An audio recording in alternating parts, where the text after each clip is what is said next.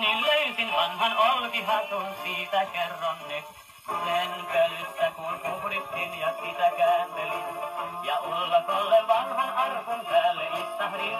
En aikaa tiedä miten kauan siinä viivähdin, kun iso isän tarinaa mä hiljaa muistelin.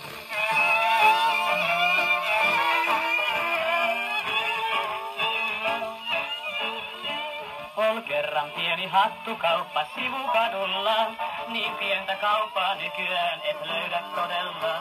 Ja siihen tuotiin iso isä kerran viivahti, hän kauan etsi olkihatun viimein valitsi.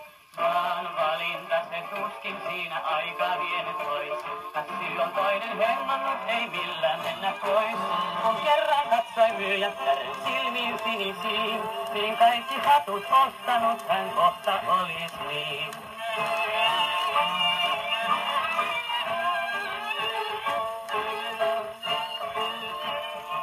Kului aikaa sinisilmäin vuoksi tosiaan. Nyt romanssi niin kaunis kohta puhkes kukkimaan.